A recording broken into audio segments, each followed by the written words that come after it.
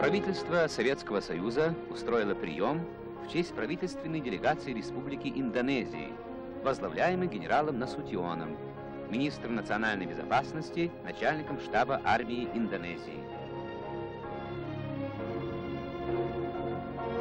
Между Никитой Сергеевичем Хрущевым и генералом Насутионом состоялась дружеская беседа.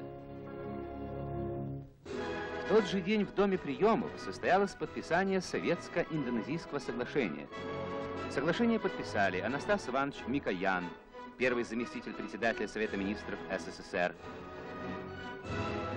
генерал Насутион, глава правительственной делегации Республики Индонезии.